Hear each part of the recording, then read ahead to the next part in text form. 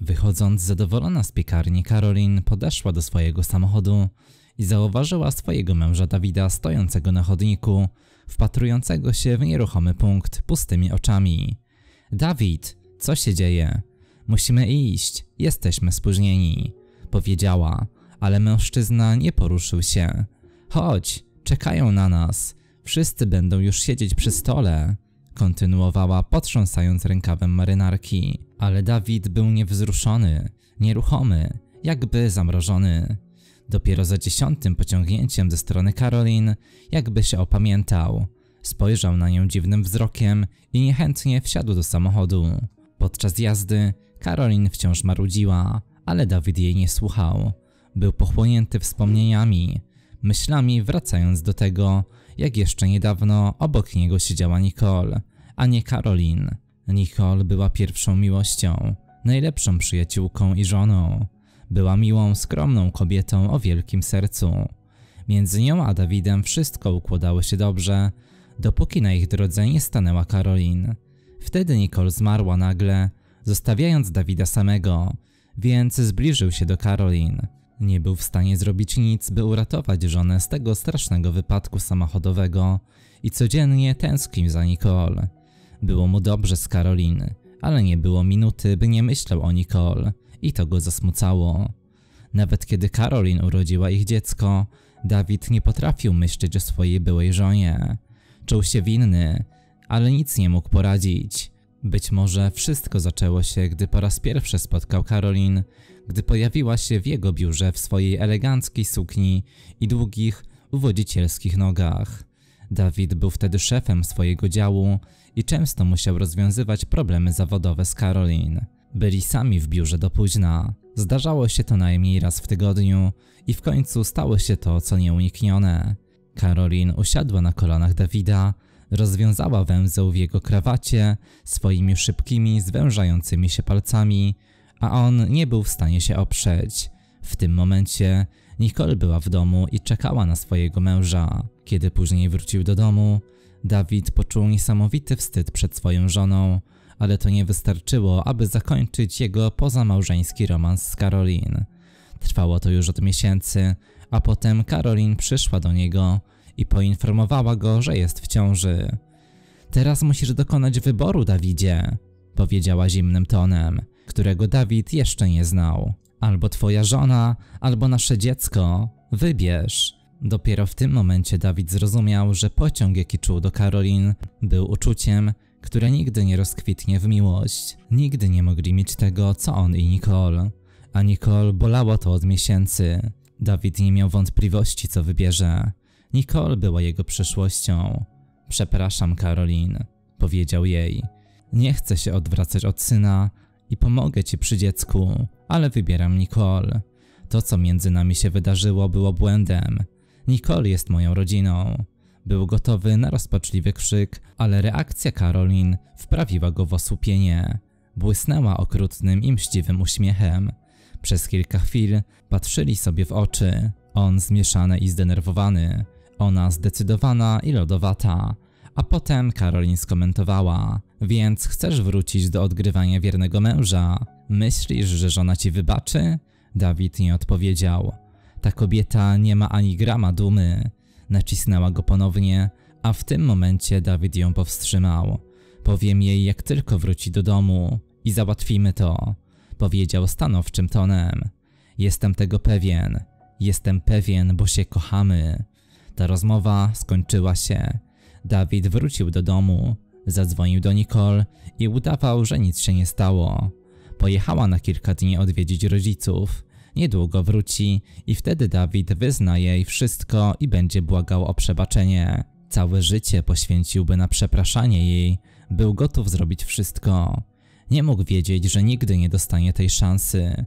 Dwa dni po wiadomości, że Karolin jest w ciąży, matka Nicole zadzwoniła do niego zapłakana.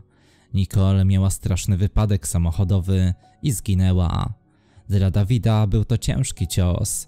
Wsiadł w pociąg i pojechał do rodziców żony, którzy nalegali, by pochować ją tam w pobliżu domu, w którym dorastała. A kiedy wrócił do domu, dzień po pogrzebie, popadł w straszną depresję. Płakał cały dzień, przeklinając siebie za to, że nie był przy niej, że jej nie chronił, a nawet za to, że ją zdradził. Był przekonany, że poczucie winy będzie go pożerać przez całą wieczność. I faktycznie, choć minęło już kilka lat, samopoczucie Dawida wcale się nie poprawiło, wręcz przeciwnie. Uległ Karolin i razem wychowywali swoje dziecko, ale nie był szczęśliwy. Dawidowi wydawało się, że odbywa wyrok za całe zło, które wyrządził swojej zmarłej żonie. Jego nowe życie było torturą, a ta podróż samochodem na urodziny ciotki Karolin nie była wyjątkiem.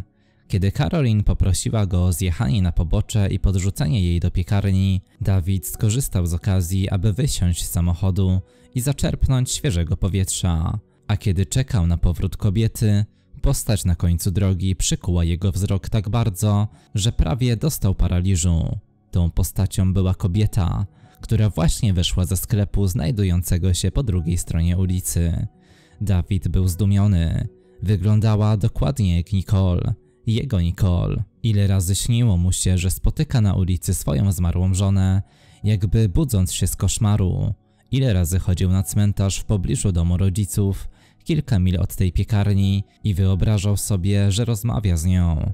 Teraz chciał tylko zadzwonić do niej, wykrzyczeć jej imię, pobiec do niej, przytulić ją i wreszcie obudzić się z tego koszmaru. Ale głos załamał mu się w gardle. Stał bez ruchu, sparaliżowany, zaklęty przed tym duchem, który nawet go nie zauważył. Był w szoku, nie wiedział co myśleć i dopiero szarpanie i krzyki Karolin sprowadziły go z powrotem na ziemię. Wracając za kierownicę, Dawid mógł myśleć tylko o Nicole i tej kobiecie, którą widział na drodze. Karolin mówiła przez resztę podróży, ale Dawid nie miał pojęcia co powiedziała. Pochłonięty swoimi myślami, nie spuszczał wzroku z drogi. Kiedy dotarli na miejsce, Dawid przywitał się ze wszystkimi, a następnie zamknął się w jednej z sypialni. W rzeczywistości chciał być sam. Wtedy rozszerzył oczy, jakby coś zapaliło się w jego głowie. Nigdy nie widział zwłok Nicole. Płakał nad jej zamkniętą trumną. Nagle wszystko zdawało się nabierać z nowego znaczenia. Pogrzeb w zamkniętej trumnie, pochówek w pobliżu domu jej rodziców, czas, związek z Karolin oraz ta kobieta niesamowicie podobna do Nicole. Wszystko nabrało sensu. Dawid czuł się tak samo żywy i zdeterminowany jak zawsze, jakby wypełniony nowo odkrytą życiową energią. Wstał w pośpiechu i pospiesznie zszedł po schodach. Przeszedł obok nakrytego stołu i gości, mówiąc tylko: Przepraszam, muszę iść. I pospiesznie wyszedł. Wsiadł do samochodu, nie oglądając się za siebie.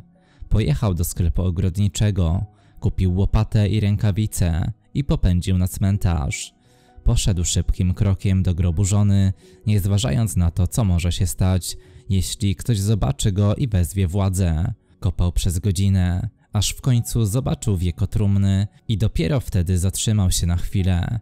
Nagle zdał sobie sprawę, że nie będzie w stanie wydobyć trumny na powierzchnię. Jego nerwy i siły fizyczne były na wyczerpaniu. Postanowił otworzyć wieko trumny właśnie tam na ziemi, trzaskając łopatą o słabe śruby na prawie spróchniałych drewnianych deskach. A kiedy udało mu się podnieść ciężkie wieko, wydał okrzyk bólu. Nie było tam jego Nicole, ale ta trumna nie była pusta. Dawid klęczał przed grobem żony, szlochając, ściskając w ramionach to, co znalazł wewnątrz trumny. Były tam albumy ze starymi fotografiami, na których on i Nicole byli młodzi i szczęśliwi, oraz czerwone aksamitne pudełko, które jej podarował, a które teraz zawierało każdy prezent, jaki kiedykolwiek dał jej w życiu. Wszystko to mogło oznaczać tylko jedno. Tego smutnego dnia Dawid nie pochował swojej żony, ale ich miłość i szczęście. Nicole natomiast żyła, tylko nie chciała już kochać mężczyzny, który ją zdradził. Dawid wrócił do domu ciotki Karolin w wolnym tempie. Był brudny, spocony, a jego dłonie pełne ran. Czekała na niego Karolin, wściekła jak zawsze. Oskarżyła go o upokorzenie jej. Powiedziała mu, że musiała spędzić cały wieczór usprawiedliwiając się przed ciotką, która zarzuciła jej, że związała się z mężczyzną, który nie dorównywał jej byłemu chłopakowi. Masonowi. Dawid przewrócił oczami i niechętnie przeprosił, a potem Karolin została wezwana przez ciotkę, która najwyraźniej chciała jeszcze poplotkować o jej nowym partnerze. Kiedy plotkowały, Dawid coś usłyszał. Nie wiedziała nawet, czy to dziecko jest Dawida czy Masona. Nie mogły jednak wiedzieć, że Dawid wciąż tam był za nimi i słuchał całą rozmowę. Gdy go zauważyły, było już za późno. Szkoda została wyrządzona. Wściekły Dawid odwrócił się i wyszedł, a Karolin pobiegła za nim, krzycząc. Tym razem jednak błagała go, by pozwolił jej wytłumaczyć. Dawid zaśmiał się, po czym wskoczył do swojego samochodu i odjechał. Pojechał do rodziców Nicole, bo potrzebował odpowiedzi. Wtedy była teściowa otworzyła drzwi. Powiedział prosto z mostu. Powiedz mi prawdę, czy Nicole żyje? Kobieta zrobiła się blada.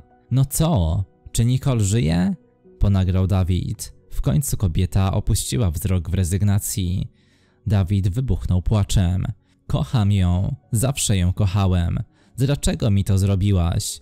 Pytał z płaczem. Teściowa jednak spojrzała mu prosto w oczy i krzyknęła. Gdybyś naprawdę ją kochał, nie zdradziłbyś jej.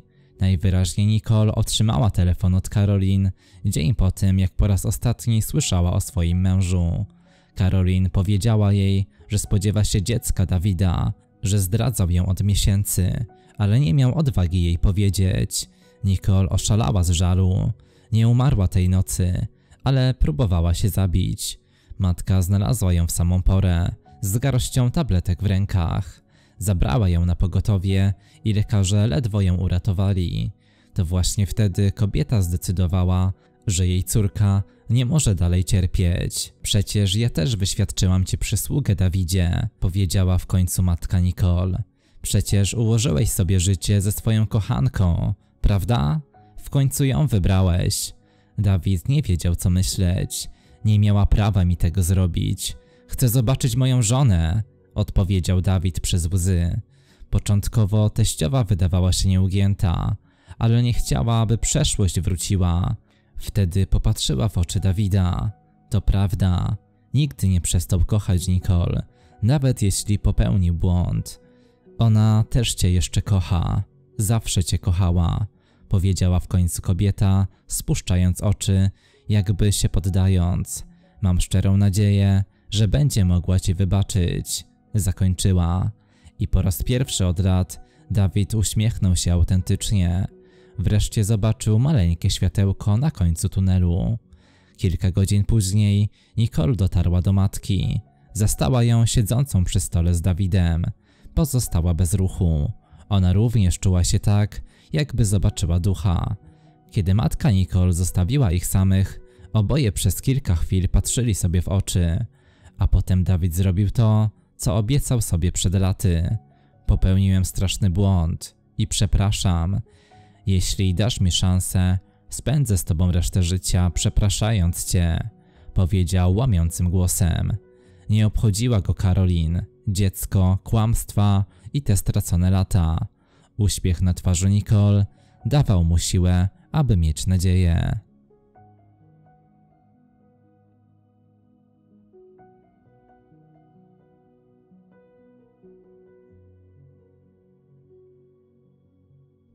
To wszystko na dziś. Jeśli spodobała Wam się ta historia, kliknijcie filmik na ekranie, aby zobaczyć więcej podobnych historii.